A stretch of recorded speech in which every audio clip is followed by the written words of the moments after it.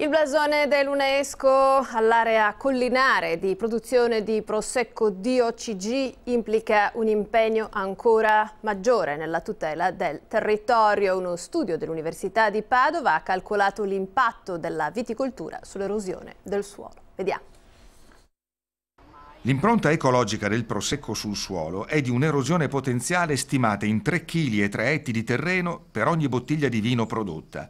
È la geoscienza dell'Università di Padova che si fa capire così bene che il quotidiano inglese The Guardian ha approfittato dell'anteprima della ricerca di tre dipartimenti pubblicata a gennaio per fare una controversa campagna. Dovremmo smettere di bere prosecco per ragioni etiche, il titolo, a tutto vantaggio delle birre britanniche. 300.000 eh, tonnellate all'anno di suolo potenzialmente eroso e l'abbiamo diviso per le 90 milioni di eh, bottiglie prodotte annualmente all'interno di quest'area. La soglia di tolleranza su scala europea è intorno a una tonnellata e mezzo l'anno di terra erosa per ettaro contro una media di 40 nell'area del Prosecco di OCG, circa 200 km quadrati nel Trevigiano. La zona appena riconosciuta patrimonio dell'umanità dall'UNESCO, Nazioni Unite, è meno della metà.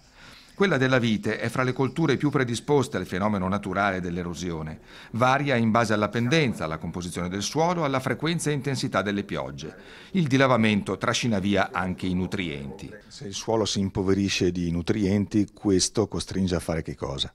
Beh, sicuramente ad apportare eh, nuovi nutrienti e quindi a fertilizzare di più. Contromisure, muri di supporto dei terrazzamenti, siepi, prato sotto le viti, colture miste. Un po' meno vino, meno erosione, da 3 a 1 kg di terra per bottiglia. Questo riconoscimento UNESCO, di là di tutti i vantaggi che può portare in termini di promozione, comporta anche delle responsabilità però ci sono progetti di transizione agroecologica per l'Europa al 2030, quindi il tema non è solo la chimica, è un modello di agricoltura.